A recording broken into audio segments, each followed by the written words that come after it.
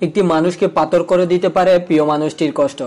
এই কষ্ট থেকে আমরা সবাই বেরিয়ে আসতে চাই। এই কষ্টকে যতন করা কোনো মানুষের পক্ষেই সম্ভব নয়। তাই এর থেকে বেরিয়ে আসার উপায়কে বারবার আমরা সন্ধান করি। আজকে এই ভিডিওতে তেমনই কিছু বিষয় নিয়ে আলোচনা করব প্রিয় মানুষটির অবহেলা থেকে কীভাবে মুক্তি পাওয়া যায়। আমাদের ভিডিওটি শুরু করার আগে একটা কথা আমাদের চ্যানেলে যদি নতুন হয়ে থাকেন, আমাদের চ্যানেলটি অবশ্যই সাবস্ক্রাইব করে দিবেন। পাশের বেল আইকনটি বাজিয়ে দিবেন পরবর্তী ভিডিও পাওয়ার জন্য। এখন আপনার প্রিয় মানুষটি যদি আপনাকে অবহেলা করে, তাহলে তার ধরনটা বুঝুন। সে আপনাকে কেন অবহেলা করতে চায়? তার কাছে যদি পর্যাপ্ত সময় না থাকে আপনাকে দেওয়ার মতো, তাহলে কোনো উপায় বের করুন। যার কারণে সে আপনাকে পর্যাপ্ত সময় দিবে। আর আমরা সবাই জানি একটি মানুষ তখন তার সাথে সময় দেয় যখন মনে হয় সে এক এমন একটি পার্সন যারকে সময় দেওয়াটা অবশ্যই জরুরি। এখন প্রিয় মানুষটির এমনটির এমন একটা পার্সন হয়ে উঠুন যেন সে মনে করে আপনার সাথে কাটানোর সময়টাই যেন তার জীবনের শ্রেষ্ঠ সময়।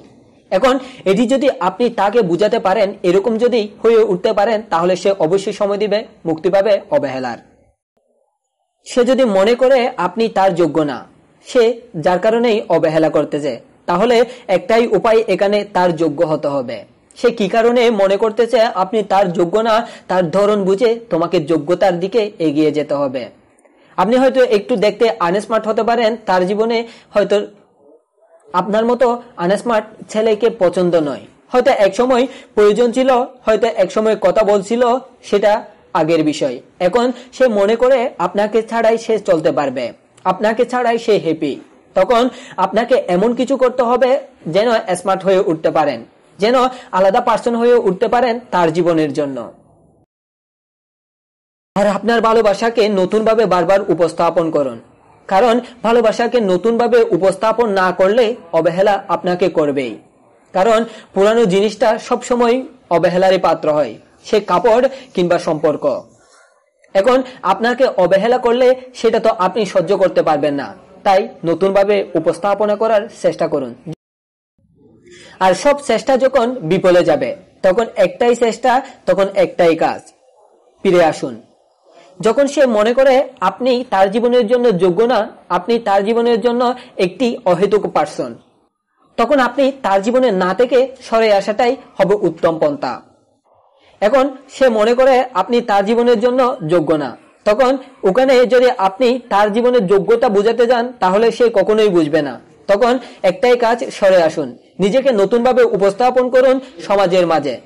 যদি চেষ্টা করেন, তাহলে অবশ্যই সফল হবেন।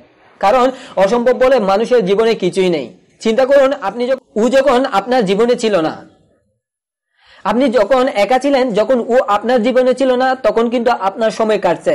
এখন যদি সে অবহেলা করে, যদি তাকে ছেড়ে দেন, তাহলেও আপনার সময় কাটবে। একমাত্র উপায়, সরে আসুন। সরে আসাই হলো একমাত্র অবহেলা থেকে মুক্তি। আমাদের এই ভিডিওটি কেমন লাগল অবশ্যই কমেন্ট বক্সে জানাবেন। ভিডিওটি ভালো লাগলে একটি লাইক করে দিবেন, কারণ আপনার লাইকটি আমাদের অনেকটাই অনুপ্রাণিত করে।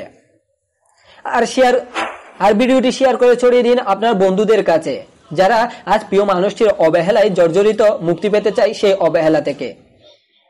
এই অবহেলা থেকে মুক্তির উপায় খুঁজছে। তারা হয়তো উপকৃত হবে এই ভিডিওটি পেয়ে। ধন্যবাদ আমাদের এ পর্যন্ত সঙ্গে থাকার জন্য। সুন্দর হোক আপনার জীবন, সুন্দর হোক আপনার ভালোবাসা। মুক্তি পাক, অবহেলা, গভীর হোক ভালোবাসা।